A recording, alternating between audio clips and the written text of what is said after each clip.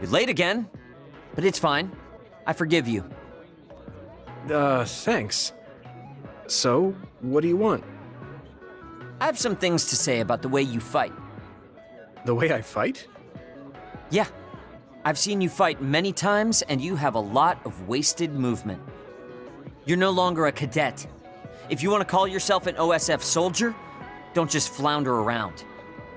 On the battlefield, you need to always be reading your enemy's movements and consider your next move. Use your brain. So he calls me here to criticize me? What the hell is he thinking? Hey, are you listening? I'm spending my precious time on you here. Hang on. I don't really know what's going on. Why did you want to talk? Because you helped me before, however slightly. I'm returning the favor by giving you some advice. That was advice? Sounded a lot like you were making fun of me. What? You can leave if you don't want my advice. Thought you'd want to get stronger. He's annoying, but he has been in the OSF longer than me. If he really wants to help, I guess I'll listen. All right, I'm all ears. A wise decision. You can't win without hard work. Though I'm sure that doesn't make sense to someone who was born with a silver spoon in his mouth. He can't stop with the insults. I bet he doesn't have any friends. Back to the subject. I told you to read your enemy's movements, but it must be hard for an inexperienced rookie to do that. Instead of relying on hazy knowledge, it's better to work on reaction time and calm decision-making skills. I see. Unfortunately, you lack both right now. It's a miracle you're still alive. was it incredibly good luck? Or was it your teammates? If you don't want to die young, you need to get better. I listened to you and all you did was insult me. You hate my guts. Any reason why? What? I go out of my way to help you, and you think that's an insult? Come on, that last bit was definitely an insult.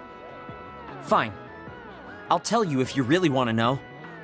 I haven't liked you since the first day I met you. Since I was scouted, I worked for years to get strong. I've been near death more times than I can count.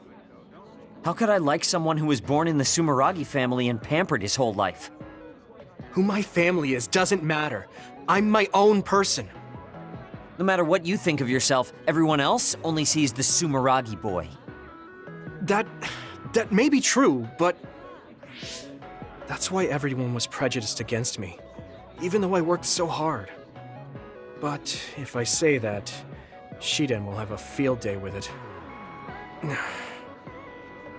if you don't like it, you have to become strong enough to surpass your name.